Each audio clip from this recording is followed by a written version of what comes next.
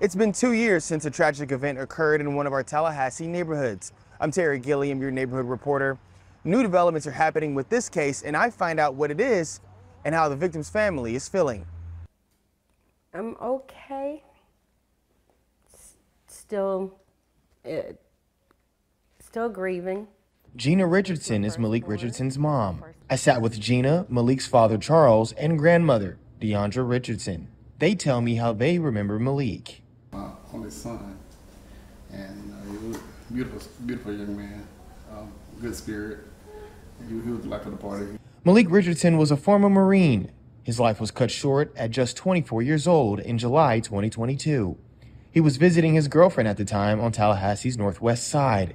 Two years, two months, 11 days, exactly 804 days to this day.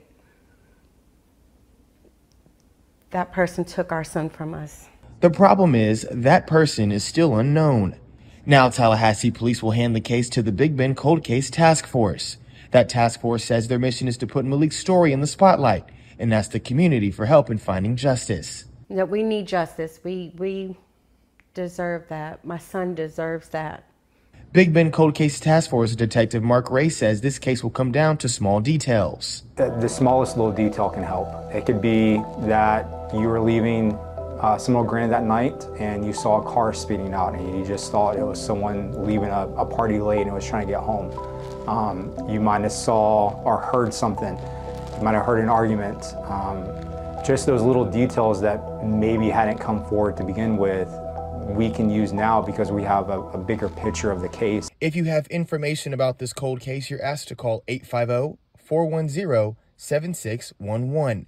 You can also remain anonymous by calling Crime Solvers at 850 574 TIPS. I've also included those phone numbers with this story at WTXL.tv.